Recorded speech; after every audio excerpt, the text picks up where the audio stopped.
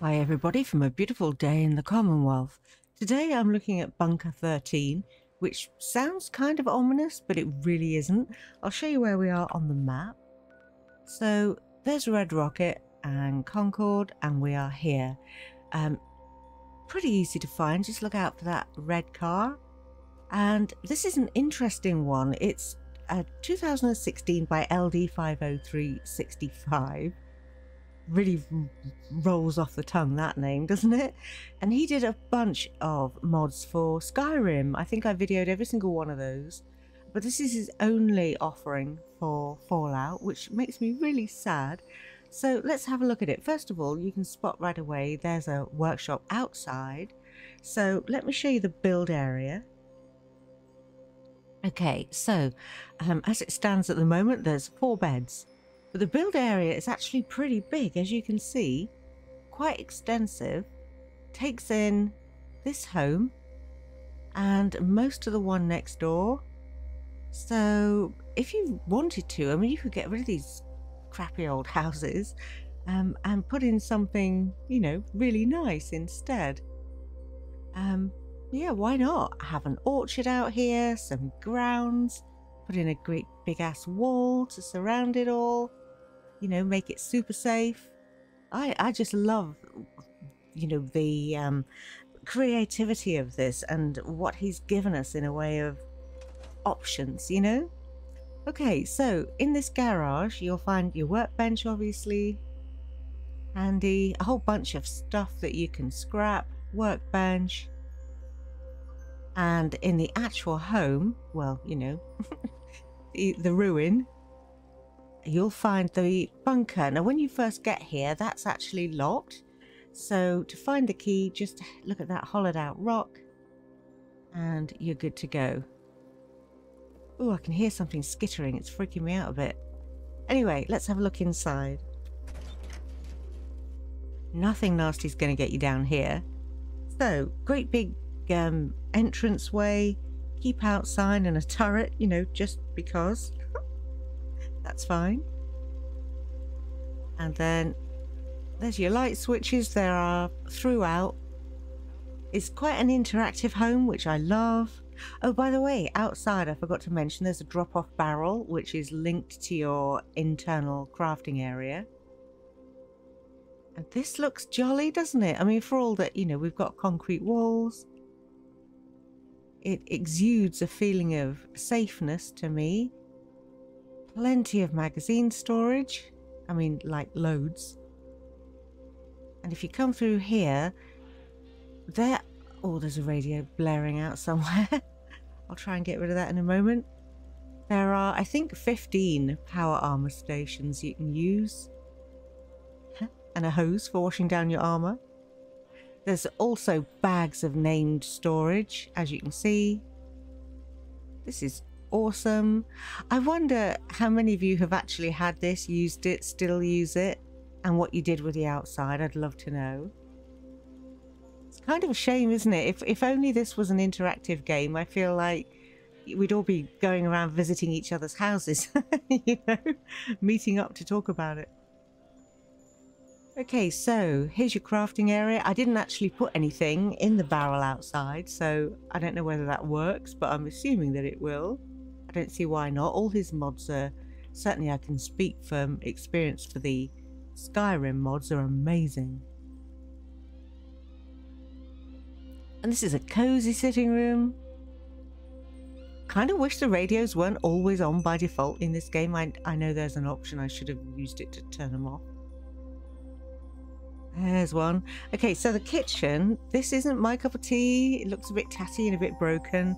There's running water though, and a cooking stove, and loads again of name storage. So, you know, it's all there for you.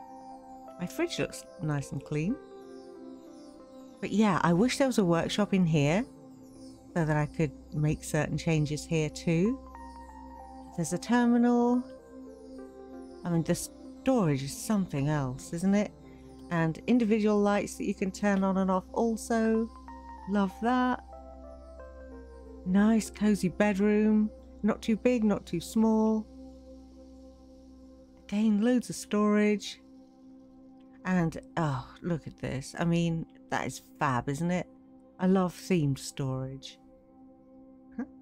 These look like they, they might hide something, but they don't appear to. Oh my god, I just noticed the cufflink. The cufflinks. What are they called? Handcuffs. okay, Lee said, soonest mended. Oh, oh my god. Okay, bobblehead stand, and yeah, everything you could possibly want, really. It's very cool, isn't it? Don't you think? And then there's room for, I don't know, I was going to say a couple of followers, but you can't send people here, but I guess you could probably dismiss your companions here if you wanted to. I don't know, I've never done that. And then your bathroom. And again, it's nice. Oh, he always makes me happy. All his mods make me happy. Particularly, obviously, the Skyrim ones, but this is very cool too. I wonder why he stopped modding. It's such a pity. Alright, well, I think that covers just about everything. Do let me know what you think about it. And like I say, have you used it?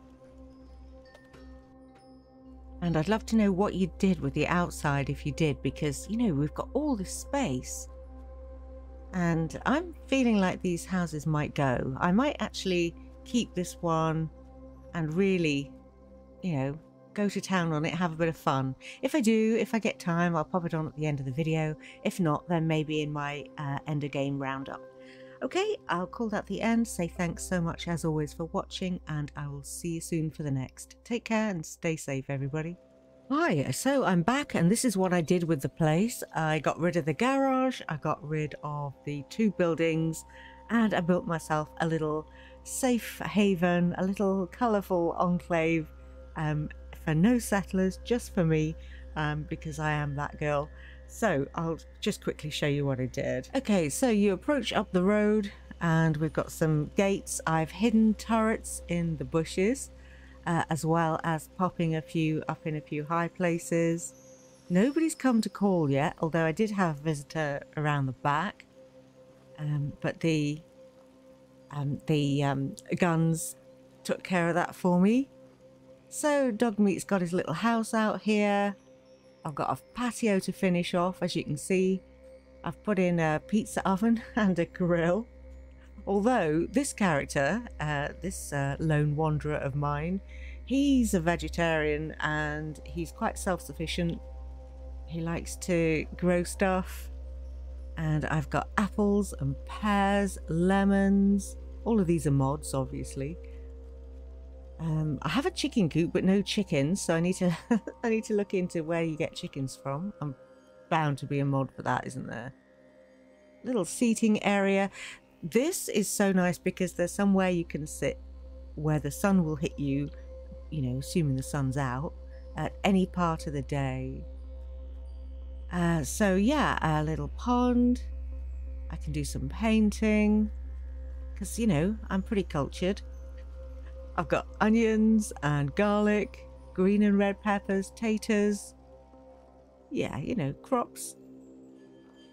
And then the home, I haven't finished it. I don't know why I bothered putting a mailbox outside. It's a bit like having a TV, isn't it? Kind of pointless, but never mind. So it's not finished, it's not fully decorated, but there's a modern kitchen.